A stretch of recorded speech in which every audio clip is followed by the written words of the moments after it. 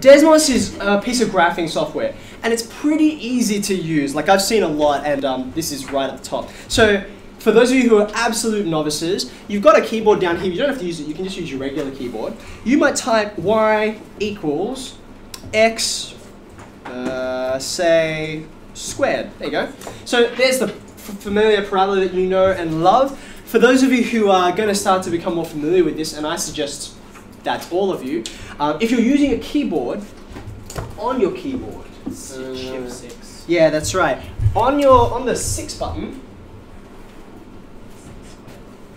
you'll see this little symbol there. Uh, it's got its actual technical name is the hat.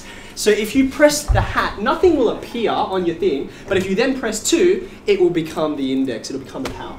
Okay.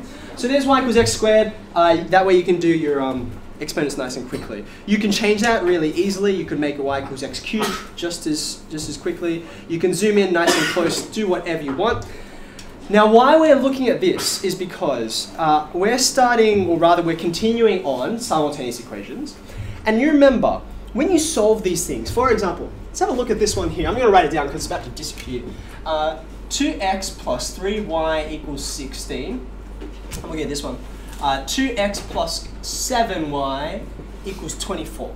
Okay. One of the lovely things that I like about Desmos is that it will accept the way that you input equations almost any way that you like. So if we delete this, uh, let's go. So 2x plus 3y equals, what's it equal to? 16.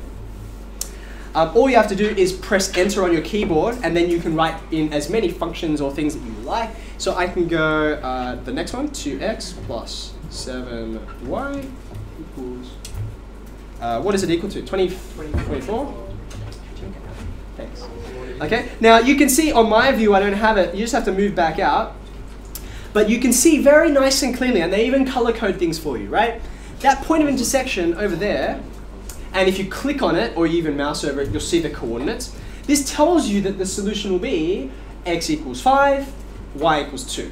Okay, and you may well have already done this question this morning, and you're like, oh, I remember this one. And it's quite easy to see. Okay? Now, the reason why I'm highlighting this is because we said this morning we're going to move on from pairs of linear equations. So we had a look at when you've got three. We're also going to move on from linear equations. So just have a look at question three at the moment, which is one of the ones that I skipped. Uh, the one I want us to focus on first is 3e. So 3e looks like this. X minus y equals 2, x, y equals 15. Now just pause for a second. Don't type anything yet. I just want you to look at those equations for a brief moment. And I want you to think about, well, hold on, what, what does this mean? You're going to get some values out of this when you solve, but what do those values signify? x minus y equals 2. I think we can get a rough idea of what that looks like. There are no powers, there's no division, so this is another straight line just like you've seen before. Xy equals 15. I'll admit, it's in a form that's not so familiar to you, but if I divide through by x, Does anyone recognize it now? What is this? It has a name, what's it called? It's a hyperbola, very good, okay? So a hyperbola is a curious shape. It's curved, it's not linear. So when we find points of intersection, let's have a look at what happens. So you can get rid of these if you like, uh, or alternatively, if you've got them there and maybe you want to just like hide things because you want to not make them disappear, you can actually click over here on the left on those colored icons like this, and they'll stay there, but they won't be shown, okay? So I don't want them. I'm going to graph each of these one at a time. x minus y equals 2. And xy equals 15. And then zoom out appropriately. Okay. So when you're having a look at this, right? Let's actually fix, might be easier if I do that. Okay. When you have a look at this, right, you can zoom and you can pan and do whatever you like there isn't just one solution. Let's see if it'll do it. If you click on one of those points of intersection, it will actually give you the coordinates, right? So that one over there, 5 comma 3, that's an x value and a y value, right? So x equals 5, y equals 3. That's one of the solutions. And if you come back down to the bottom left-hand corner, you can do the same thing.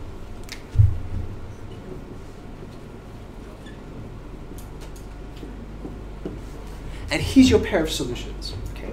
Now, when you have a look at the question, all you're being asked to do is to solve. You do not have to have a picture or anything like that drawn. Uh, certainly, it'd be difficult to do this accurately enough that you could just read it like, oh yes, of course that's 5, 3. Okay, don't expect that.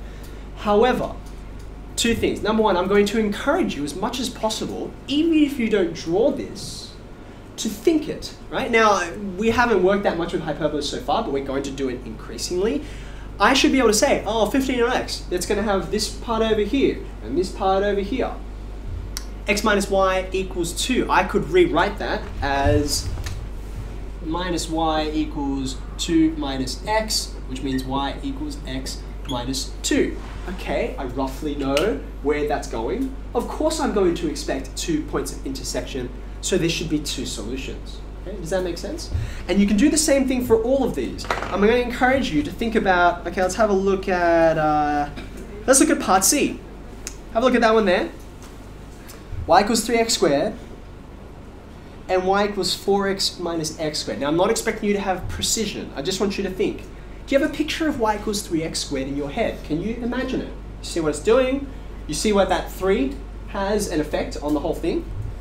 Okay, 4x minus x squared. That's a little bit trickier, but you can factorize that fairly straightforward in your head, right?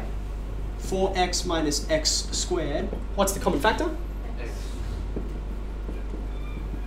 Okay, do you have a picture for that in your head? Okay, even just a rough one. Okay.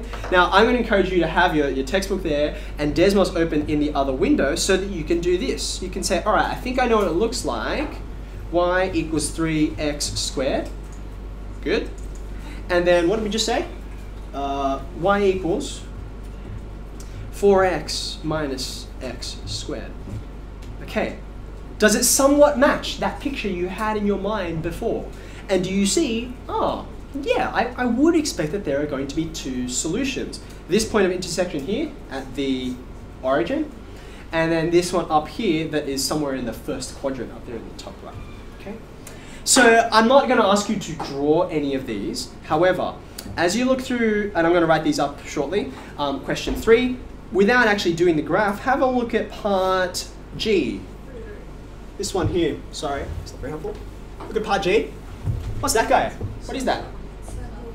That is a circle. Its center is at the origin, and its radius will be the square root of 34, okay? Which is a little bit less than 6, okay? Now, this guy, less familiar, and you're not expected to know. You can solve this algebraically, because when you have a look at this and this, you remember how I told you before? Oh, some questions, they just look so nice and neat. They're almost begging for you to use a particular method. What is this question begging you to do? Factorizing is important. But remember what you're trying to do again? You're trying to solve simultaneously.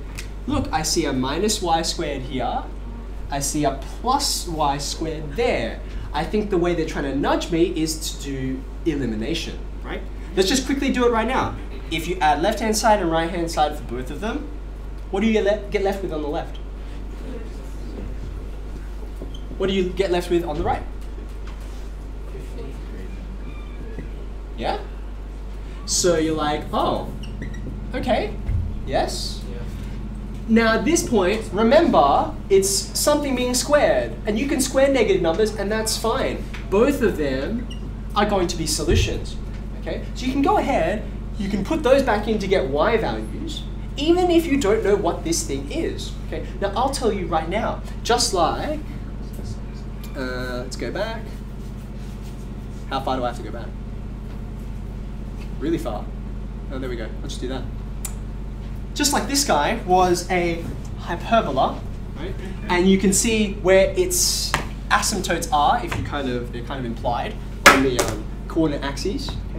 That x squared minus y squared thing has a remarkably similar shape, but I'll let you discover that when you go and have a play with it. Okay?